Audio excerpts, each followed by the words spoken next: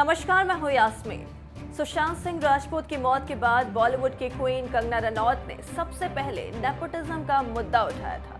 कंगना के स्टेटमेंट के बाद इस मुद्दे को लेकर अभी तक बहस चल रही है। वहीं हाल ही में सुशांत के फैमिली लॉयर विकास सिंह ने कहा था कि कंगना इस केस के ज़रिए अपना एजेंडा उठा रही है। इसके बाद कंगना को सोशल मीडिया पर ट्रोल किया जाने लगा था।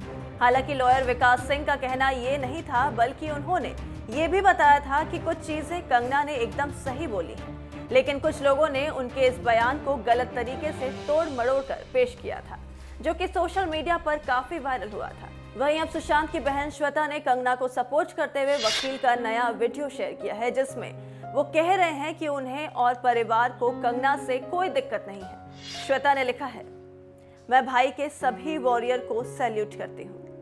आप सभी हमारी ताकत हैं और रियल हीरो हैं। अभी हम सभी को साथ रहना है, इसलिए सभी से रिक्वेस्ट है कि सभी साथ रहें और एक दूसरे को समझें। अब सुशांत की बहन का शुक्रिया अदा करते हुए कंगना लिखती हैं, शुक्रिया श्वेता दी, इन शब्दों के लिए धन्यवाद। मेरे खिलाफ सभी अफवाहों को दरकिनार करने के लिए धन्यवाद।